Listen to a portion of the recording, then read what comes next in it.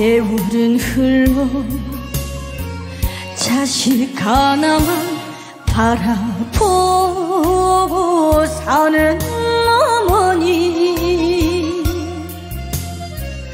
나는 아직도 엄마 앞에서 아홉 살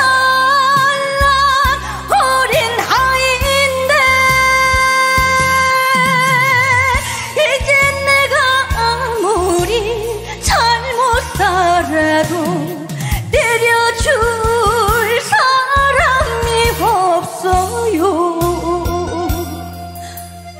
엄마 엄마 그 옛날처럼